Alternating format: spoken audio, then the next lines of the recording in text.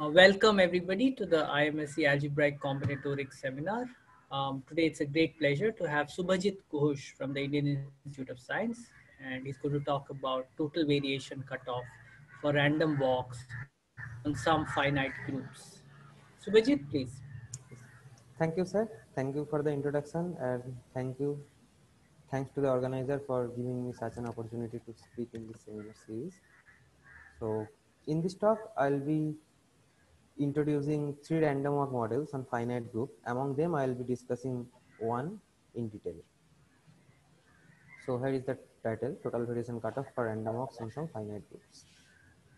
So first, let's look at the brief overview of this presentation.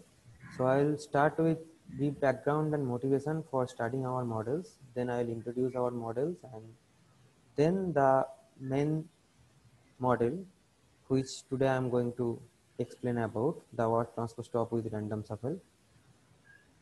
There will be some necessary background theory uh, on discrete time Markov chain on finite state space and representation theory on finite groups and some results on Vershik-Okounkov theory, Vershik-Okounkov approach to the representation theory of G-Riteshen. Then I'll be focusing on obtaining the spectrum of the transition matrix. Mainly I'll be stating the results and say the proof ideas. Then using the spectrum, I'll state the result on order of the mixing time and finally I end up with the main theorem on cutoff phenomena. So in general, random walk on finite groups has caught attention of many probabilists in last few decades. The convergence related result are generally used in randomizing randomization algorithms. These things has many applications in mathematics, computer science, statistical physics, and biology. So the theory of random walk on finite group receives its own independence, on problems and techniques from 1981, 1981 when Diaconis and Shahshahani introduced the use of non-commutative Fourier analysis techniques to solve mixing time related problems on finite on random walk on finite groups. So in particular, in this paper, Diaconis and Shahshahani studied random transposition model on the symmetric group. And they have proved that the mixing time for this shuffle on Sn is half is half n log n and the shuffle is as follows so uh, from a deck of n card select any two cards randomly and uh, interchange them or transpose them. Throughout this talk i'll use the word transpose instead of interchange. So the model i am going to introduce in this talk are mainly inspired by the transpose top with random shuffle on the symmetric group Sn this was first studied by Flatto, Odlyzko and Wells in 1985 and its mixing time related result is found in the book by Diaconis where he has introduced the or he where he have books that books is on book is on non-commutative Fourier analysis technique to solve random walk on finite group related problems. Okay. So let's move on to describe our models. The first model is on the alternating group, which we call the transpose top 2 with random shuffle. This essentially says, suppose we have a deck of n cards labeled with the numbers 1 through n and the labeling are such that the arrangements represent a permutation in an is an even permutation. Then this shuffle says that first transpose the top two cards and then transpose one of them with a randomly chosen card from the remaining n minus 2 cards and at this point i should mention that we are considering a, a lazy version of the of this shuffle what i have told. So in particular generated by these three cycles means that first transpose the last two card and then transpose it with the transpose the n minus 1th card with the ith card and this essentially says that first transpose the n and n minus 1th card and then transpose the ith card and nth card. We have obtained the spectrum of the transition matrix for this shuffle and also we have proved that this shuffle satisfies cutoff phenomena with cutoff time no minus 3 over 2 log n. Here comes the second model that is on the group of signed permutations, the hyperoctahedral group and also the demi-hyperoctahedral group. This essentially says that, so now suppose we have n cards labeled through the numbers 1 through n, but each card has two orientations instead of one. Let's say face up and face down. Now, this shuffle says that from an arrangement of n oriented cards in a particular row, select a random card and transpose it with the top card after taking a random decision of flipping both the cards or not. Again, for this shuffle, we have obtained the spectrum of the transition matrix and also the, we will prove that or we have proved that uh, this shuffle exhibits cutoff phenomena with cutoff time n log n. And we have also studied a similar work on the demi-hyperoctahedral group Dn. The generating set of this work basically drops the element minus nn from the generating set of the earlier one. At okay, so let me mention in detail. So this particular signed permutation generally says that it interchanges the ith card and nth card and this particular says that uh, it inter it after interchanging the ith card and nth card it flips both of them. And obviously we are dropping the flipping only only the last card for the work on dn because of obvious reason. Otherwise it will go out of dn okay. So now the shuffle which i am going to describe in detail in this talk I'm sorry. Uh, before you go on, may I just ask a couple of questions? Yes. So sir. one is, what was the mixing time for Diaconis and Shah Uh, for Diaconis and Shahshahani, it was half n log n. Half n log n. Okay. Yes. And you will will you explain what uh, these terms mean? Sharp mixing point, uh, time, and uh, cutoff. Uh, yes. At some point in briefly, I will discuss. Okay. And and at that point also, if you have any question, please ask. Okay, okay. thank you. Please go on. Okay, so here is the warp transpose top with random shuffle. So for this model, this basically generalizes the flip transpose top with random shuffle when the orientations of the cards are more than two and also the orientation may depend on the number of cards n.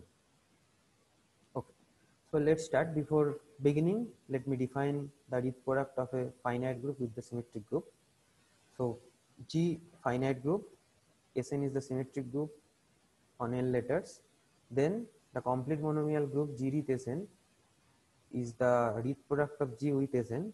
This is a group whose elements consist of this n plus 1 tuples where the first n tuples are coming from the group G and the last component is coming from the, uh, the symmetric group Sn and the multiplication for this group is given as follows. Suppose we have this element g1 g2 gn and pi and h1 h2 hn and eta. Then this this gives the result g1 h pi inverse 1 and so on up to gn h pi inverse n and pi eta. This essentially says that rearrange the element first 10 elements of the second thing or second element of g using the permutation pi inverse and then just multiply them component wise. Okay. So again here are some more notations. So script G is the set of all arrangements of n colored cards where the cards are arranged in a row and the colors are indexed by using the set G. Throughout this talk we will assume G to be a group. So now elements of GDTSN can be identified with elements of script ANG as follows. Suppose we are considering this element G1, G2, Gn and pi from GDTSN, then the arrangement in script A and G is identified with this element which is given as follows. The level of the ith card in the arrangement is pi i and its color is g pi i. Okay. So here we are moving slowly towards the Uh, describing. uh, sorry, Abhijit, I didn't understand. Uh, could you? okay. It was too fast. The previous Okay. one. Okay. Let me go to the last slide. Uh, let me repeat. So Yeah. Oh, okay. So you mean uh, how we are identifying the elements, or should I explain from the earlier one describing A and G? Okay, let me tell repeat this again. So elements, I mean arrangements of n colored card in a row can be identified with the elements of GDSN as follows. I cannot. Item, Third item. Hello.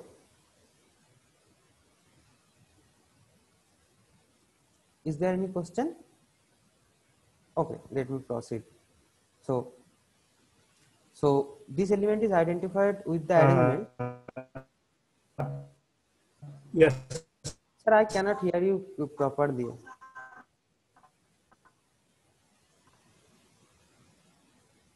Hello. I think he's asking you to explain the third point, Okay, How- the third one. identifying A and G and everything. Okay, thanks. So, okay, so basically this element is identified with the arrangement in script ANG where the labeling of the ith card is pi i and its color is g pi i. That means what we have, what we have, what are the elements of script ANG? These are just the arrangement of n colored cards in a row. So this should give an particular arrangement of n colored card in a row where the labeling of the ith card will be pi i and its color will be g pi i as we have mentioned earlier that g is the indexing set for the colors.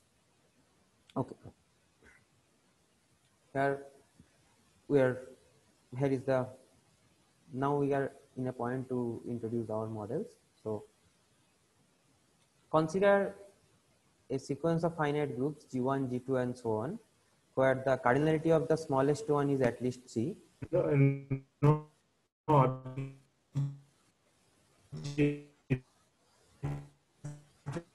Sorry. sorry. Um, We cannot hear you, Raghavan. If you type your question in the chat, maybe I can read it out.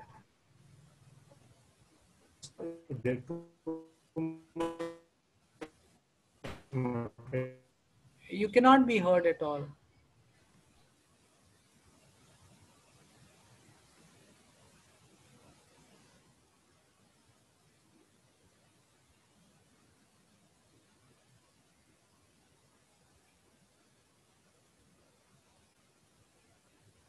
He, uh, Raghavan says, could you please explain once again with an example, maybe? okay, so great. So maybe for the example, I have to go to the next slide. In the next slide, when I'm giving an example for this shuffle, there maybe it will be clear. One possible issue is that uh, you have G as a group and now you just have colors. So you've lost um, the group structure. Uh, I actually, I am making one assumption here. So I am assuming that the colors is the set of colors forms a group with respect to some set some kind of operation where two colors when we mix will give a, a new color which is another which is a particular element of G. That assumption, Okay, so the colors form a group, a group of Yes. colors. yes, I think that may help. Uh, yeah. okay. But the exam for the example, just wait for a few minutes. In the next slide only, there will be an example. And I suppose the hyperoctahedral group is the case where each card can be either kept uh, face down or face up. Exactly. And you With have two a deck colors. where the cards can have either orientation. Yes, sir. Exactly. Two. Exactly.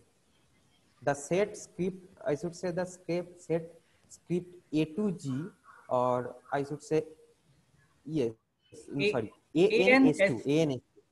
That will give us BN. Okay. So for the example, I will be coming in the next slide. So consider this sequence.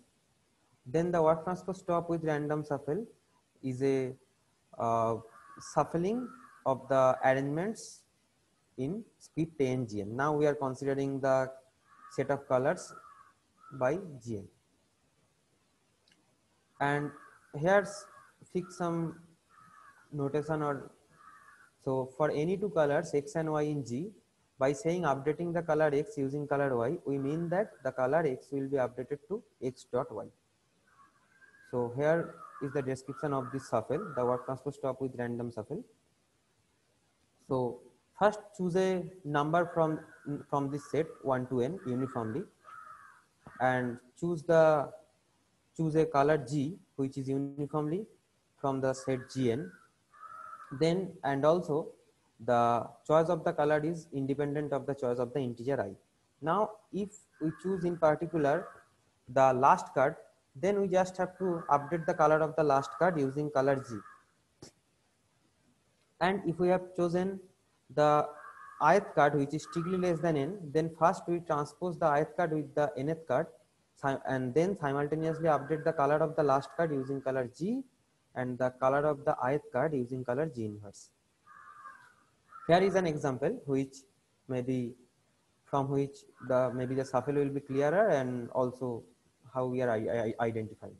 So now assume Z3 consists of three colors red, green and blue where we assume that red represents the identity element and green and blue are the other two elements then obviously square of green will be blue and the other one and also green is the inverse blue. Okay. Now suppose we starts with this arrangement. First let me explain how why this identifies an element of Z3 with S9. So in particular the first nine component so an element of Z3 is S9 will be basically uh, having 10 components. Among them, the first nine components will be elements of Z3. The, for example, here the first component will be according to the color green. Second one will be according to, uh, uh, no, sorry. Okay, I'm considering, I, considering identity element. So I don't have to care about pi i. So pi here is the identity element. The last component will be the identity permutation and the first component will be corresponding to color green, then will be corresponding to color blue and so on. So this transition basically says that when we choose the sixth card. So in particular, when we choose the sixth card, then at any cost we have to interchange it with the last card. So any of this uh, any of this arrangement will have nine at the sixth position and six at the ninth position. I'll explain one of them because and okay and the red one will be just interchanging 9 and 6 because red represents the identity element in the group according to our assumption. So now suppose we are choosing the color blue then we have to update the color of the last card which will be 6 wheel green using color blue. So 6 wheel green when we update it using color blue will become color red and similarly, if we update the color of the sixth card, which will be 9 with color blue, using the inverse color of blue, then will be 9 with color red. Okay. So, so our question, uh, is this a transitive? This is not transitive on all states, right? Because you're changing both the colors. Uh, is it transitive? Uh, yes. is this going to generate, uh, Yes, can you move yes. from one state to all states? Yes, yes, exactly, exactly. This is transitive. Otherwise, the chain will not be reducible. Then I cannot talk about the Right. stationary distribution. But you're uh, flipping both the colors. One, uh, you're changing No, here by its inverse. Then it seems that the product of all the colors remains constant, right? No, but also I am uh, I can update the last color. If you look at this condition, if I select the Oh. last color, Only the last. then I can update. So Okay, thanks. That that clarifies. So that's the one that just changes the. sound. yes, Okay, yes. thank you. Uh, no, uh, Abhijit, just uh, I, I think it's a little too fast for me for sure, maybe also for others. But could you, uh, so once again, in this example, explain um, uh, the de- definition once again? So six and nine, you're interchanging, that I understood. And how do you change the colors? Exactly. So it says that after interchange, so since I have chosen the sixth position, so I, I, I will follow using this shuffle. So, so first I have to interchange and then I have to update the color of the nth card using color G. So when I am explaining this one, I am choosing the color blue. Okay. And then after interchanging, How did you use the, how did you choose the, oh, G is also chosen. So Yes, you, you have chosen. chosen, okay, I and G are chosen, okay. uh-huh. Yes, and the choice are independent. Okay. Should I pass, go ahead? Please go ahead and explain. Ah, yeah. Okay, thank you, sir. Okay, so the aim the is to study the He mixing wants time you to for explain the example uh, again. This example again. Okay, Yes. okay. So, so since I have chosen the sixth position, first I have to interchange the sixth and ninth card, and in the intermediate phase, I will have 9 will be at 6th position with blue color and 6 will be at ninth position with green color. Now since we have chosen the color blue, so we have to update the color of the last card after that interchange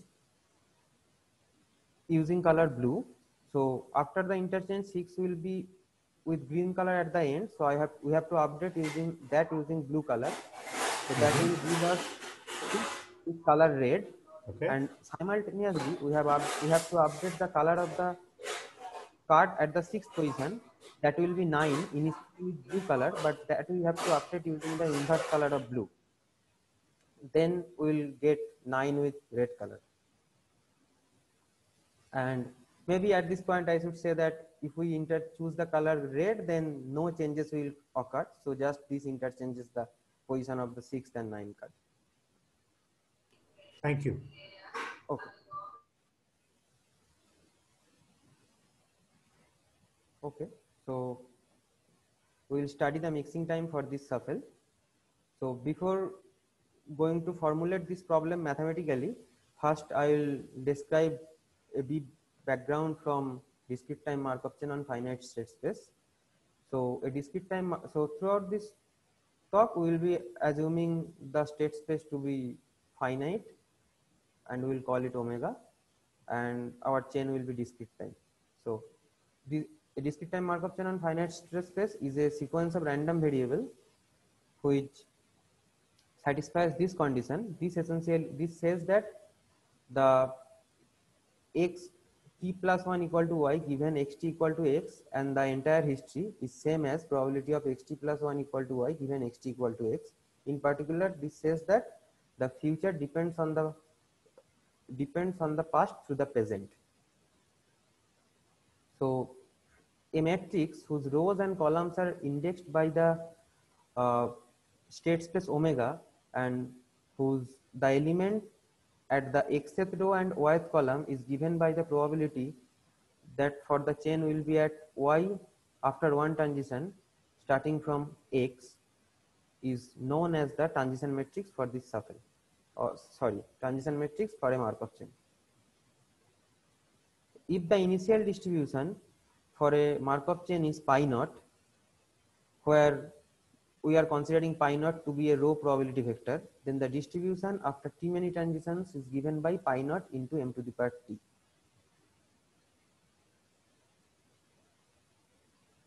So at this state stage maybe I should mention that starting at a particular state x the chain will be at a particular state y after t many transitions is m to the power t xy that is the xy en- entry of the matrix m to the power t. So we will call a Markov chain to be reducible if for any two states x and y starting from x the chain can visit to y using transitions of positive probabilities. A probability distribution pi which is again a row vector, row probability vector which is the left eigenvector of the matrix M with respect to eigenvalue 1 is known as the stationary distribution for this Markov chain. Uh, this integer t in uh, the reducibility criterion, is it the same for all pairs x and y? Uh, that if you are considering finite state space and your chain is aperiodic, then you can find one particular t for which all of these will be positive. But in general, t depends on x and y.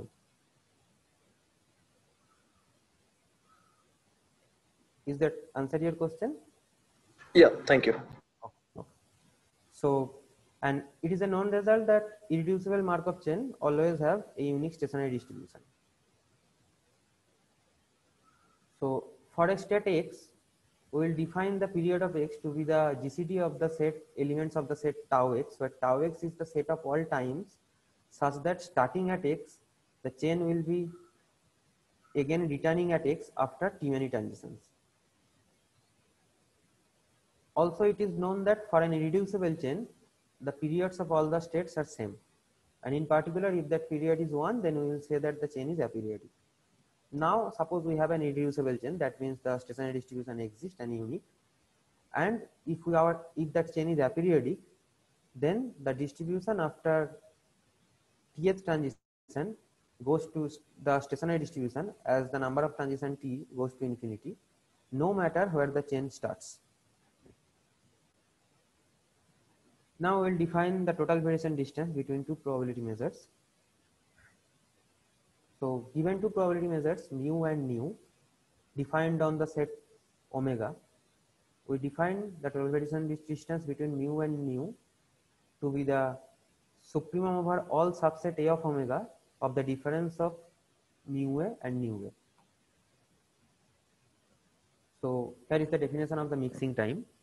So for any epsilon between 0 and 1 we will be defining the epsilon mixing time so epsilon mixing time we denote it by t mix epsilon and we define it to be the minimum of all those t such that d of t is less than epsilon where d of t is the total variation distance between the distribution after t many transition from the stationary distribution and the max taken is taken over all the initial states So here is the definition of cutoff phenomena. So some particular sequence of Markov chain satisfies a nice property which is known as cutoff phenomena which gives a nice result on the mixing time of the sequence of the chain.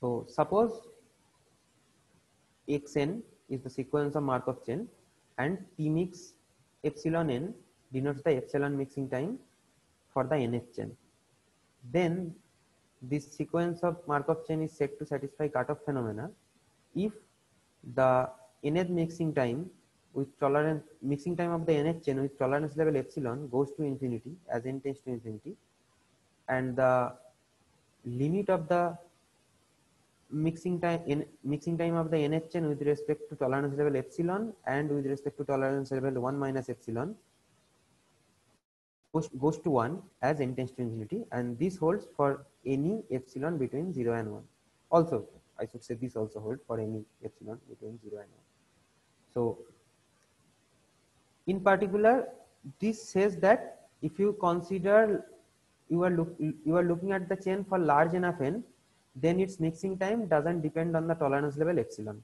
No matter how small you choose your epsilon t mix epsilon will be same for large enough n. Uh, hi, uh, is there a more like intuitive explanation for the mixing time?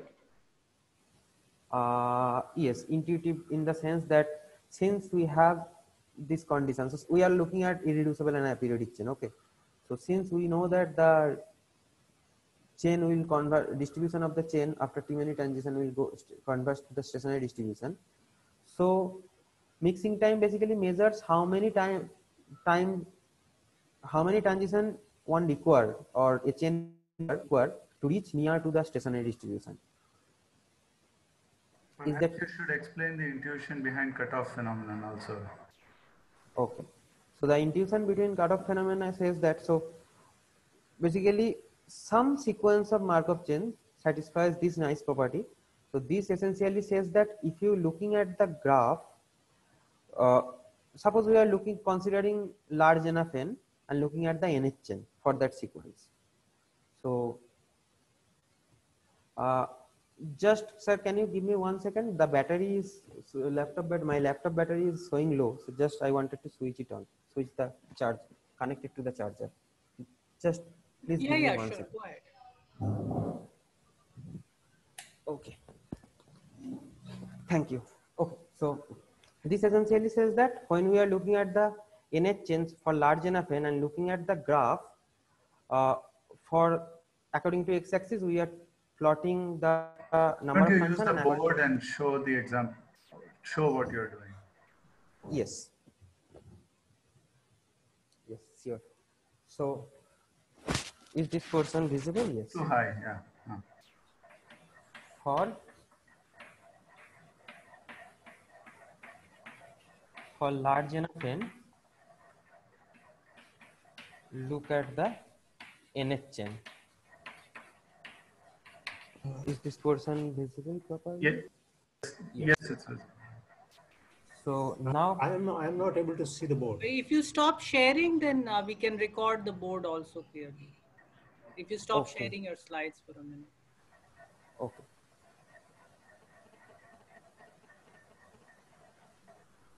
And now you speak. Uh, so just stop sharing. Yeah. Yes. Yes. Huh. Now we Okay. Yeah. So here we are plotting the number of transitions t. And here we are plotting m for the let's say let me denote it using this notation. No. So for the nhn m suffix n is the uh, transition matrix. Sorry. So this is basically mn power t x dot minus pi dot tv. So according to this, we are plotting this. Then the graph looks like this. Initially, it is closer to one and suddenly it drops up to very close to zero. So if we look at this, we will say that at this point, the cutoff has been occurred. Is this explanation? Is this answered that question?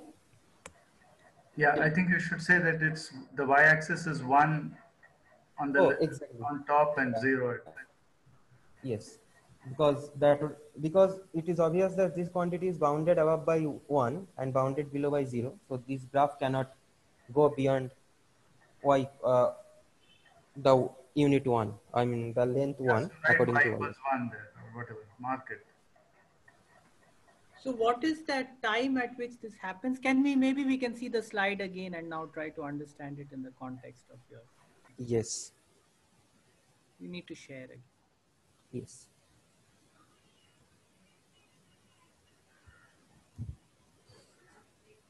Huh. Okay. So, so this essentially says that, uh,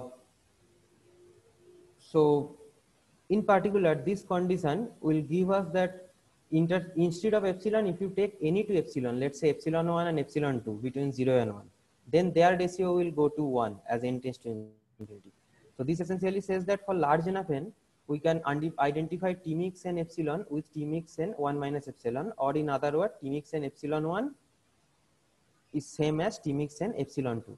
So no matter how you are choosing your tolerance level epsilon, the mixing time will be the same. So the one So minus epsilon is really not important. It's, it's perhaps a red herring. Or is it Yes, kind of. But instead of instead of that, one can say that for any two independent choice, epsilon and one and epsilon two, this will hold. Okay, that's clearer now. So you're saying that you know if you can get to uh, within epsilon of the of the uh, um, state, uh, what do you call it, the um, Stationary distribution. stationary distribution, then you can get to within anything, and that explains your picture. If you can get to within half of it, then very soon you will also get to very close. Yeah. So once it starts dropping, it really drops.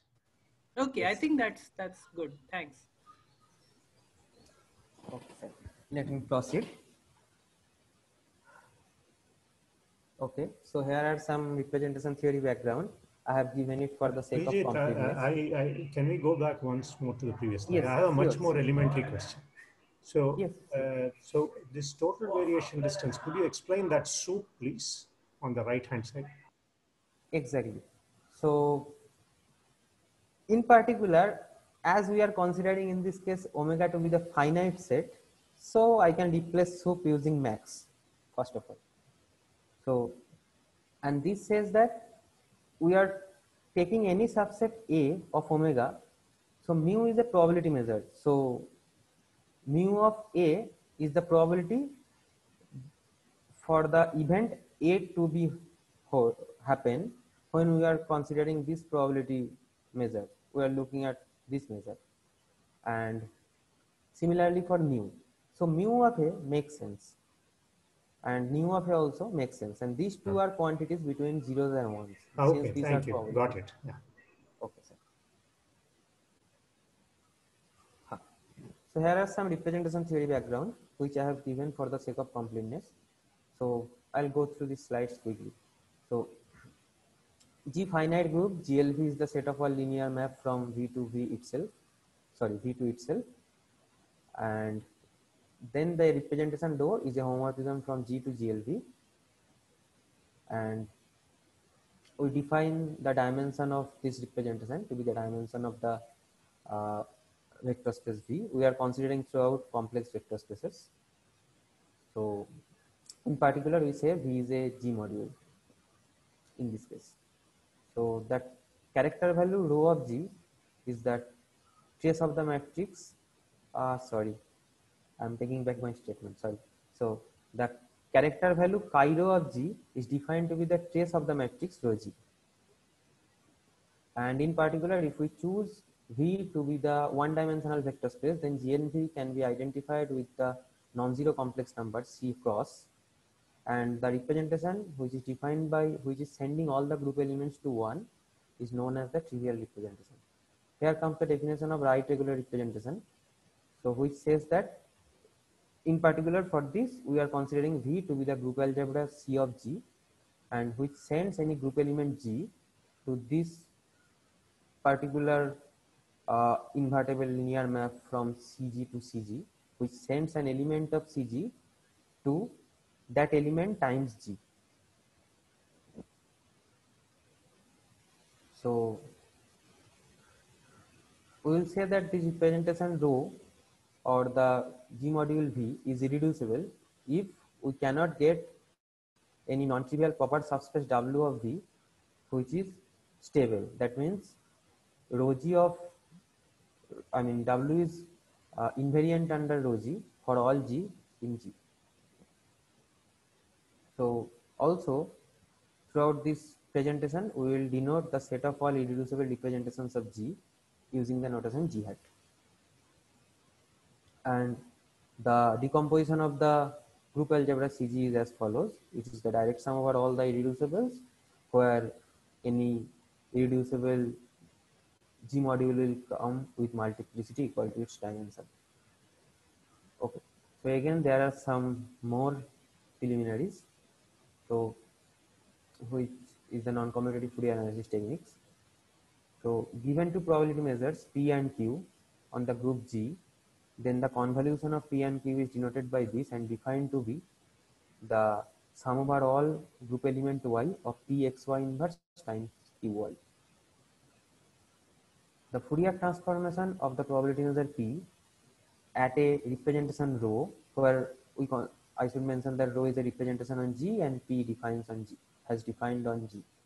Then the Fourier transformation P hat rho is defined to be the sum over all group elements X of Px times rho X. So this is essentially a matrix we can think of. Now we define a random walk on finite group driven by a particular probability measure P. So P is defined on G, then the random walk on G driven by P is a Markov chain on G with the transition probabilities P of X inverse Y, where X, Y are chosen from G. So this is essentially the transition matrix and it can be seen that this transition matrix is the transpose of the Fourier transformation of the measure P computed at the right regular representation R. The distribution for a random walk on G driven by P after kth transition is given by the k-fold convolution of P with itself. In particular, starting at x, the walk random walk will visit the state y after k many transitions with probability p star k x inverse y. A random walk on finite group given by a probability measure p is irreducible if and only if the support of the measure p generates the group G. And in that case, the stationary distribution happens to be the uniform distribution on G. So now we are in a position to formulate our problem mathematically.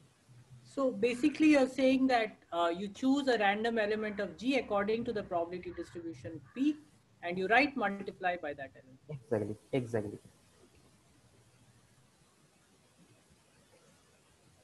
So the what so the warp transpose top with random shuffle on GND Thesen is a random walk on GND Thesen given by the probability measure capital P. The measure capital P defined on GND Thesen as follows.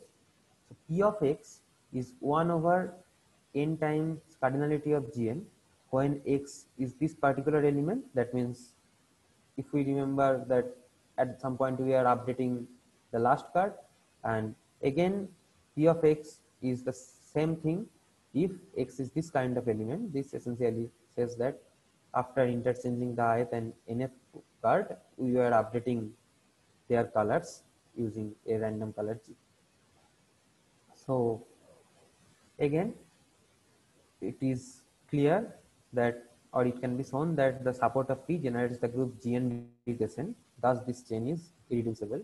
And also, this chain is a lazy chain because in particular, the identity element of the group can come here and this the ident at the identity element of the group, this measure takes non, non-zero value. So, the chain will be appearing. So, as usual, the stationary distribution is the uniform distribution U on g GND patient. The transition matrix in this case will be P hat R. I am dropping the transpose notation sign because P of x is equal to P of x inverse for all x in GND patient. It can be checked. So we are fixing some notation DNK. And now we will move, we are interested in obtaining the eigenvalues of the transition matrix because eigenvalue of the transition matrix are useful to give an upper bound for this quantity dnk. Okay. So before going towards the theorem which gives the uh, spectrum of the transition matrix, let's recall some definitions. So for a positive integer n, a partition. Uh, sorry, Abhijit, I have a question. Can we go back one slide, please? Yes, Uh. Why is, it's not clear to me, this is a probability, why is this a probability distribution? Yes, sir. Because how many elements we are considering here? Here we are considering mod gn many elements. Mod But here we are consider, but here we are considering Ah. mod gn times n minus one many elements because each choice of n will give us each type, each of this type of element. So So I is between one and, oh, I see. Uh-huh. yes, so Ah, that will be okay. something like. Okay. Thank you. let me go ahead. Huh. So given a positive integer n, a partition of n is a weakly decreasing sequence of positive integers whose sum is equal to n. In particular, we denote a partition lambda using this notation and we denote mod lambda to be the sum and which is n in this case. So a partition of n can be visualized as a pictorial diagram which is known as Young diagram and which is basically left justified arrangements of boxes in rows such that the ith rows contain lambda i many boxes In particular, here is an example for the partition Young diagrams for partitions of 4. Okay. Now here we are going to some more technical things. So script yn g hat is the set of all young g diagram with n boxes. So what is a young g diagram with n boxes? So this is basically a young diagram G diagram with n boxes is basically a mapping mu from G hat to the set of all Young diagrams such that the total number of boxes is n and yn G hat denotes the set of all such mu's. So given a Young G diagram with n boxes, so we can fill the boxes using the numbers 1 to up to n because the image of mu will have n many boxes. So just fill the boxes using the numbers and we fill the numbers in such a way that each young I mean yes each young diagram if you look at each young diagram then the numbers appear uh, increasing according to along to the rows and increasing along the columns from the columns we look from top to bottom and when we look at row we look from left to right and each of such arrangement uh, is known as a standard Young G tableau of same mu and we denote tab G n mu to be the set of all standard Young G tableau of same mu. So uh, just to clarify, uh, if G yes. is uh, C2, the cyclic group of order 2, then you just have a pair of Young diagrams and then exactly total size n and you just distribute the numbers 1 to n somehow into these two diagrams so that they are exactly. increasing along rows and columns inside each diagram. Exactly.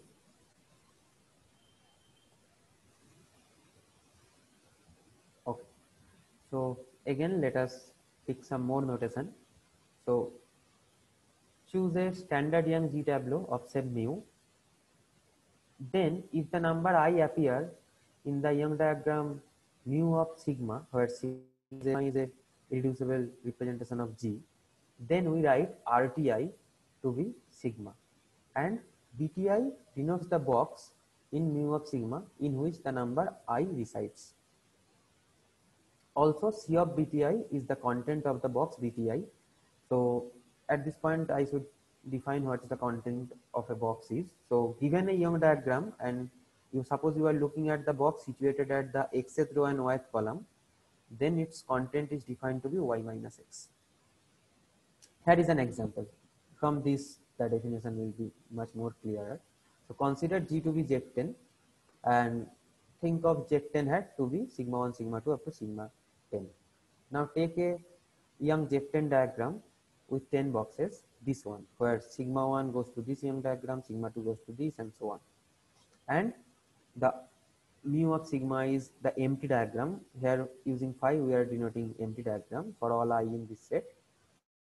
And also uh, I should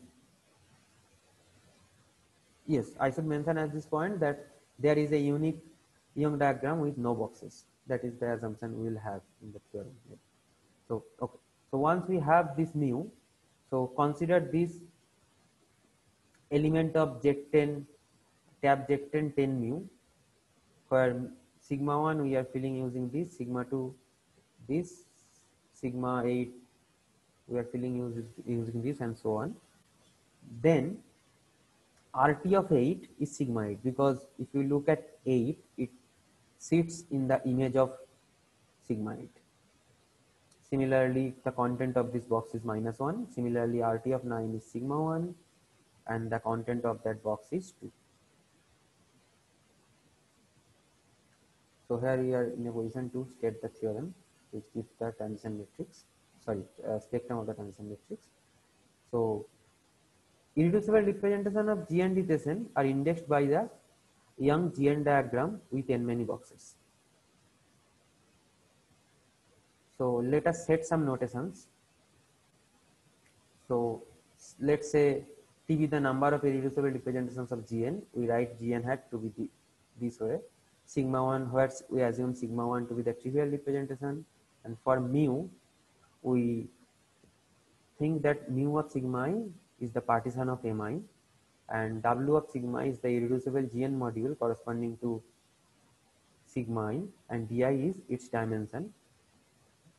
At this point, I should say that all these definitions of Young G diagram, standard Young G tableau, and in fact, representation theory of GND descent, I have borrowed from a nice paper of Mishra and and their result also very helpful to prove the theorem on the spectrum of the transition matrix. So here is the theorem on the spectrum of the transition matrix. So now take mu from yn gn hat and then the eigenvalues of p hat are restricted to v mu. So v mu is the irreducible GND descent module uh, corresponding to or indexed by the young GN the young GN tableau mu. Then the eigenvalues of p hat are restricted to v mu is given by this quantity where dimension of WRTN is well defined from this setting of the notations. C of BTN is the content of the box containing N and this is the standard inner product of the characters here in particular if RTN is trivial then this will be 1 otherwise it will be 0 since chi's are irreducible for characters. And this eigenvalue will come with multiplicity d1 power m1 and so on dt power mt for each choice of t from tab gn. So here is an illustration for this theorem. So consider gn to be z3 for all n and we will be focusing on the warp transpose top with random shuffle on Z3D cases. So assume Z3 to be sigma 1, sigma 2, sigma 3, where sigma 1 is 1, and mu, choose mu from yn Z3 hat this way. Mu of sigma 1 is this Young diagram, mu of sigma 2 is this, and mu of sigma 3 is this. Now, the eigenvalues for the standard Young Z3 tableau, this of this type of form. So an example of such standard Young Z3 tableau is this one. Suppose we are looking at this kind, this T.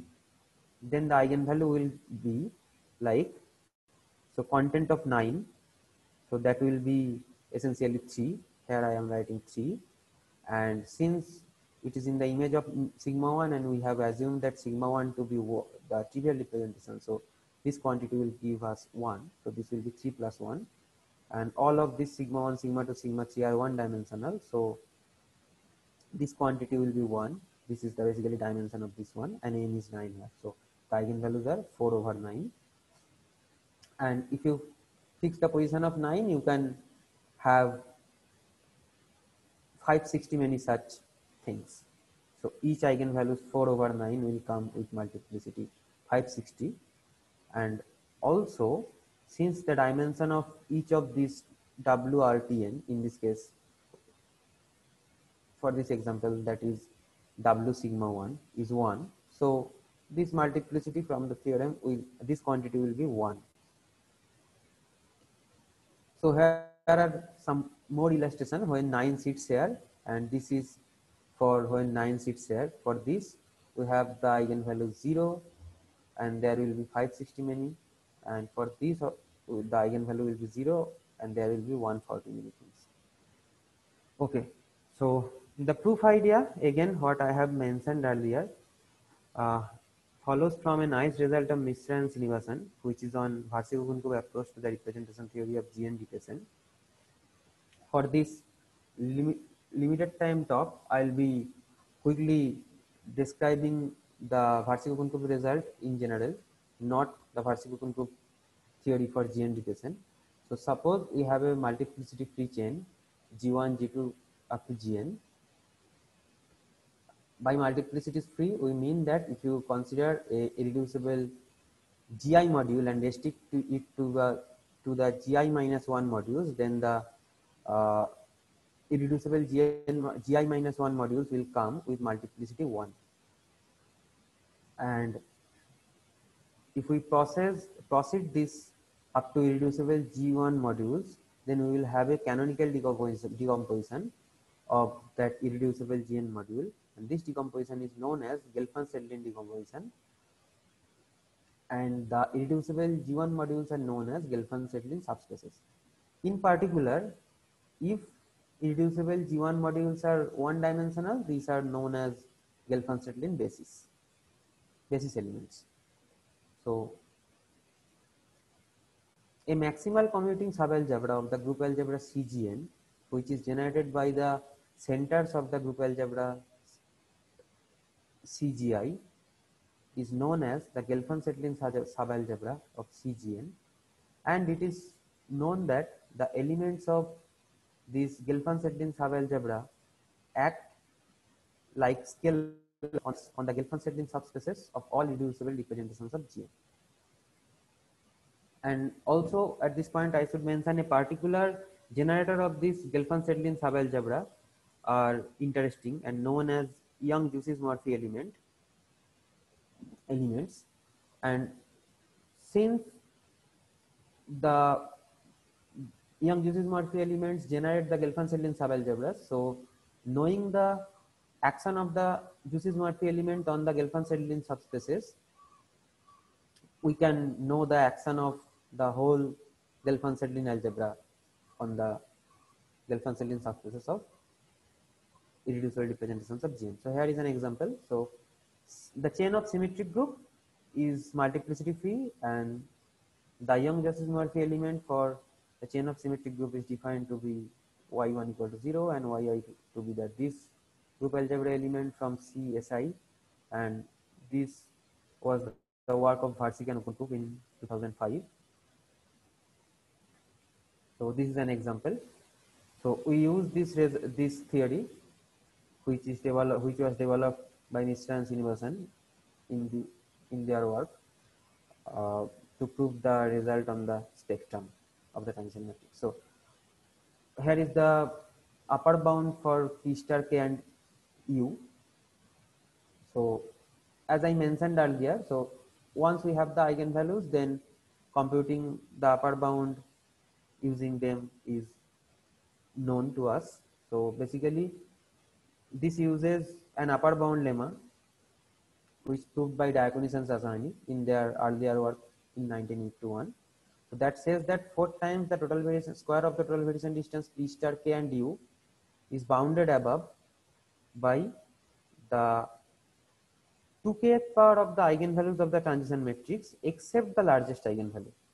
That essentially says that you drop if you drop out the eigenvalue 1 from the spectrum, so the largest eigenvalue will be 1 for a transition matrix. So if you drop out that eigenvalue, drop that eigenvalue 1 from the spectrum and raise all the remaining up to power 2k and add all of them up, that will give an upper bound of this quantity.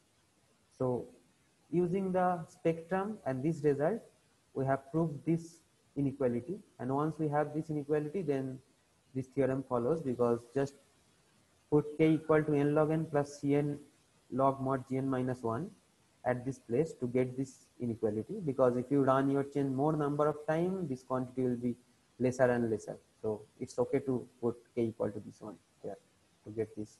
Similarly for this one. So here is the result on the lower bound. So this result is true for large enough n. I should mention at this point. So c to be negative and far away from 0 and if we choose k to be n log n plus cn this this quantity is bounded below by 1 minus this large quantity. So here is the sketch of the proof. Again, this proof involves representation theory techniques.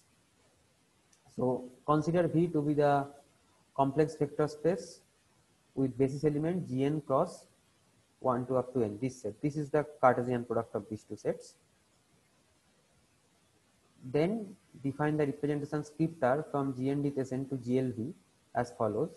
So R of this element acting, I mean G1, G2, Gn and pi acting on Hi will give us this element G pi i times H comma pi i.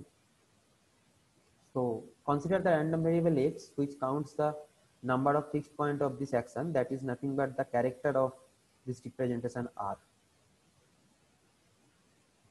So we obtain the uh, expectation of that random variable x with respect to the uniform distribution and that is 1 we have computed and also the following two results hold. So EKX is the expected value of x with respect to the uh, probability distribution which is the distribution after k-many transition for our shuffle and which is asymptotic to this quantity. And where kx is the variance of x with respect to the probability distribution E star k and this we have proved that this is asymptotic to this quantity where Cn is a uh, Cn goes to 0 as n tends to infinity. Now using this result and Chebyshev's and Markov inequality we have proved this inequality. And then plug in the values of ekx and var kx here to get the uh, sorry to get the result this result. So here is, here is the final theorem on cutoff.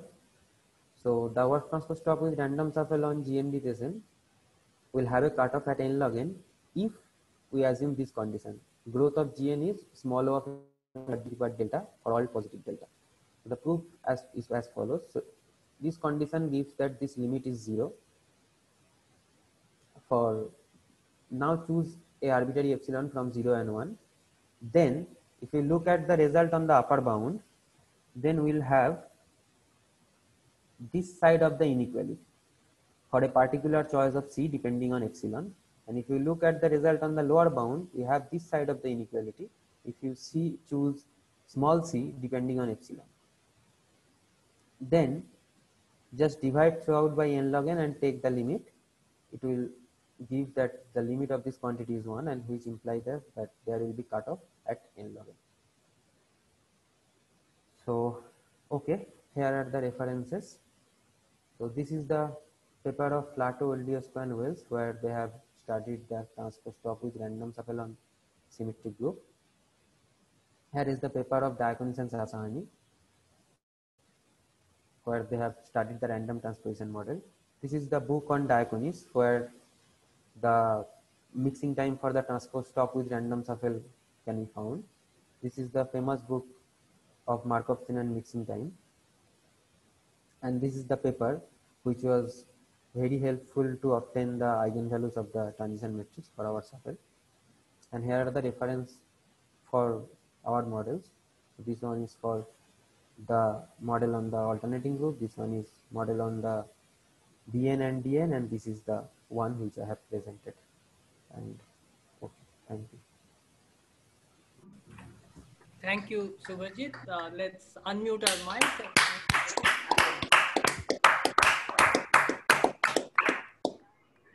Um, are there any questions here?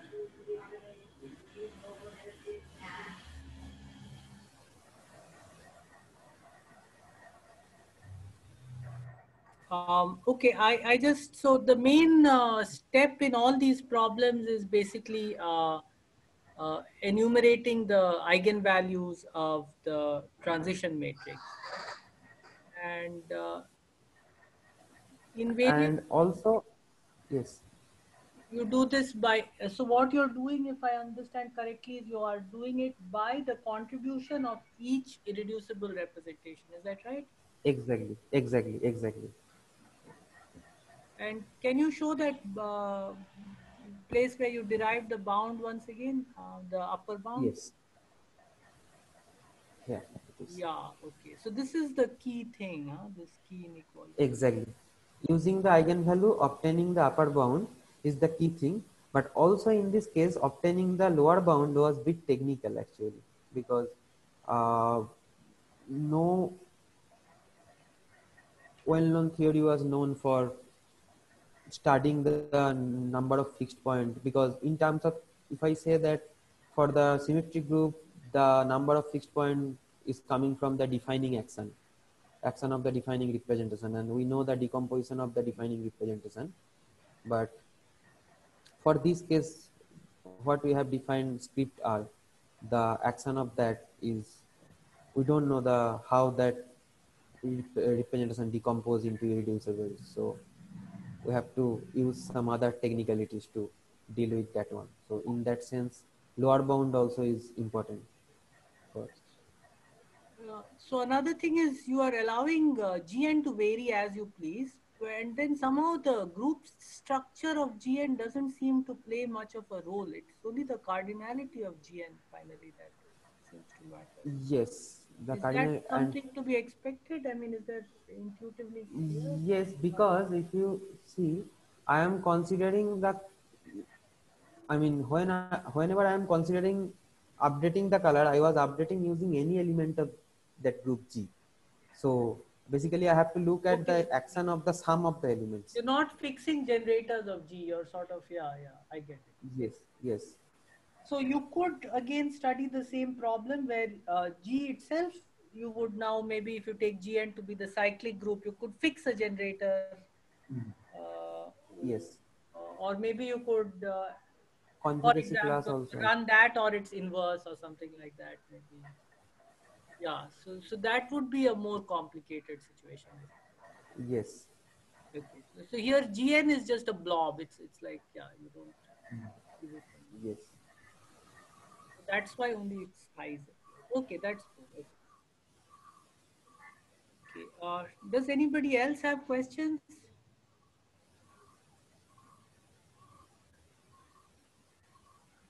Okay, it seems like uh, it was a very clear talk. There are no other questions. And uh, let's thank uh, Subhajit once again.